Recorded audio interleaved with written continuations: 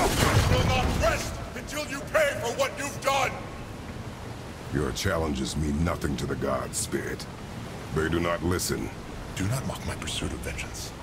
Though my family devoted their lives to worshipping Thor, I've devoted mine to his downfall. And I will start with that statue hanging over my father's grave.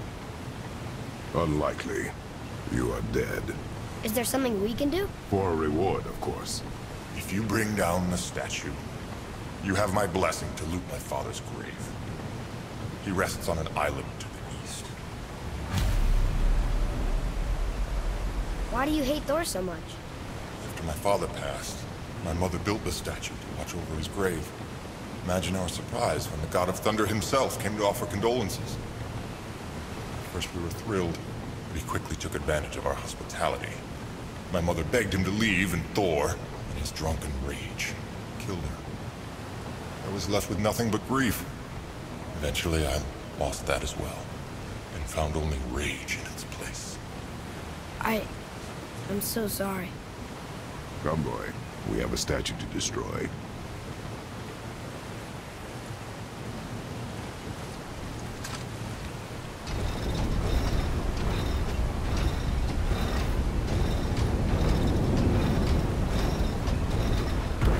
Nice. I cannot rest while my mother's murderer stands above my father's grave.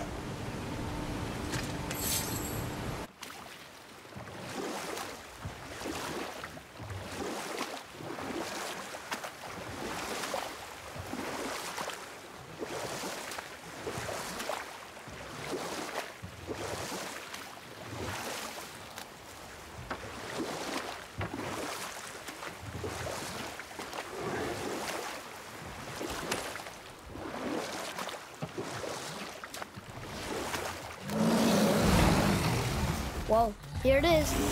It's gotta have a weak point. Somewhere.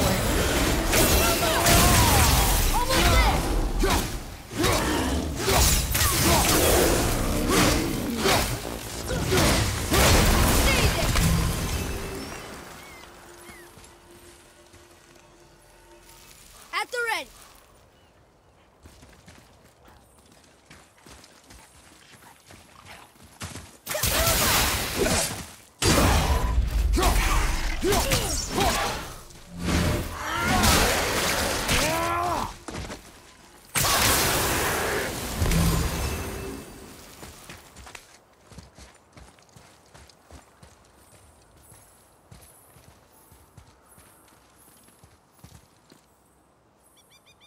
There it goes. Or was he planning on doing this himself?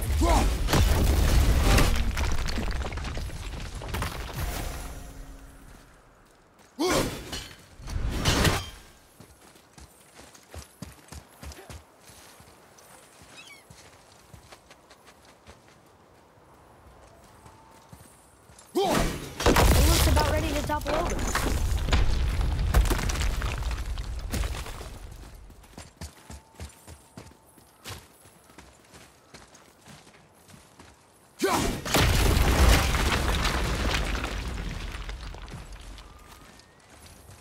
Take that, Thor. He wasn't so tough. Gods do not fall this easily, boy. I know, I know. I was just joking. Nor are they a joking matter. Sorry.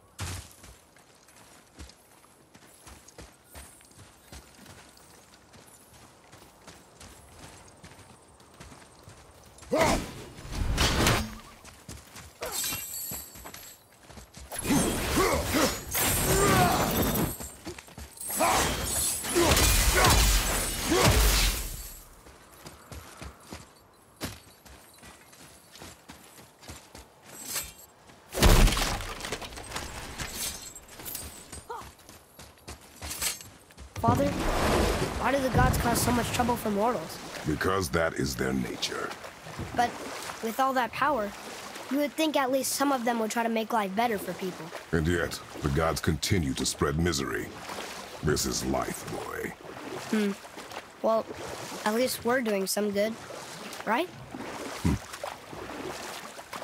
You there! Have you destroyed the statue? The statue stands no longer, Spirit. Then my bond to this realm is severed. and I am off to find the real God of Thunder. He will know retribution.